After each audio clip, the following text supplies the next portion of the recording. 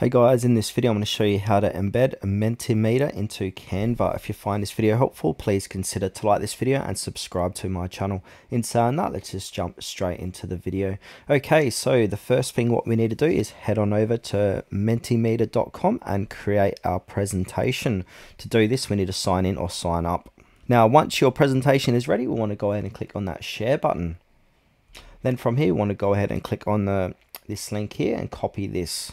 Now the next step is we need to go ahead and open up Canva. Then from here I'm just going to create a blank presentation for this demonstration.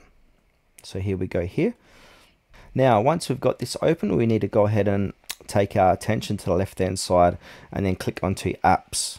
Now in the apps list search for embed or if you can't find it just go ahead and do a search.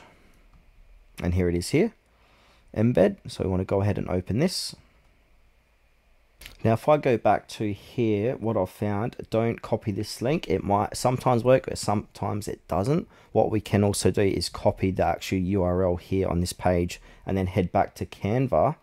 And now if I go ahead and paste that web link, click on add to design, add to design, this one is actually working. Then from here, we can just place that anywhere inside of your design like so. Now you can see your Mentimeter is now live, clickable, embedded inside your Canva's slide. So when you present in Canva, if you're doing it to students or colleagues, you can see the Mentimeter access code and you can get this access code back here. Come back to Mentimeter, go ahead and click on share.